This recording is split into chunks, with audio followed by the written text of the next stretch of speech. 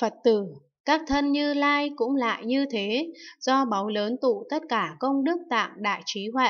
Nếu có chúng sinh xúc chạm được trí huệ quang minh báu thân Phật, thì đồng với sắc thân Phật.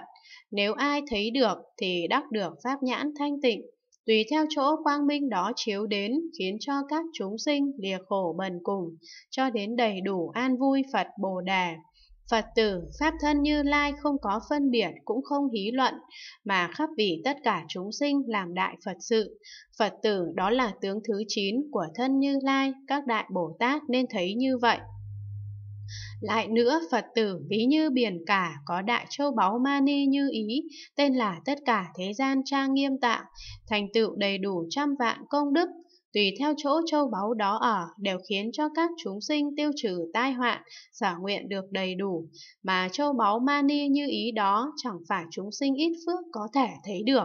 Thân châu báu như ý của Như Lai cũng lại như thế, tên là vì hay khiến tất cả chúng sinh thảy đều được hoan hỷ.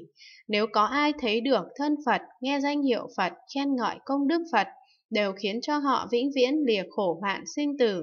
Giả sử tất cả chúng sinh trong tất cả thế giới, đồng thời chuyên tâm muốn thấy được Như Lai, đều khiến cho họ được thấy sở nguyện đều đầy đủ. Phật tử, thân Phật chẳng phải chúng sinh ít phước có thể thấy được, chỉ trừ thần lực tự tại của Như Lai đáng được điều phục họ. Nếu có chúng sinh do thấy được thân Phật liền trồng căn lành, cho đến thành thục, vì được thành thục nên khiến cho họ thấy được thân Như Lai. Phật tử, đó là tướng thứ 10 của thân Như Lai, các đại Bồ Tát nên thấy như vậy.